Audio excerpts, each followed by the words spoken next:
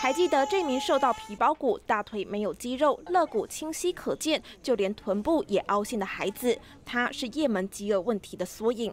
粮食不足的情况在今年六月恶化，因为长期援助也门的世界粮食计划署被迫中断行动。八月二十一号，物资终于重新抵达首都沙那。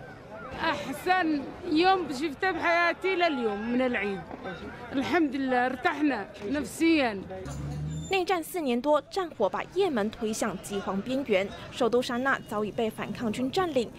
六月，世界粮食计划署担心援助百姓的粮食被充当军粮，因此计划喊停。所幸在多次协商后，重新达到共识。WFP has just resumed food distributions in Sana City.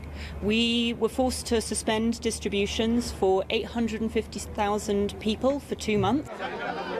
发放现场，民众大排长龙，等了两个月，终于可以再领到面粉、植物油、大豆、盐和糖，舒缓生活困境。但好景恐怕不长。WFP unfortunately is facing a huge funding shortfall, and we need the support of our donors if we are going to be able to keep the pace of assistance that we currently have. But we really can't stop now. The situation is just too precarious.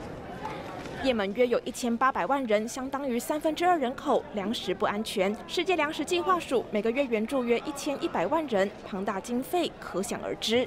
一旦资金缺口没有尽快补上，后果将不堪设想。大爱新闻黄敬婷编译。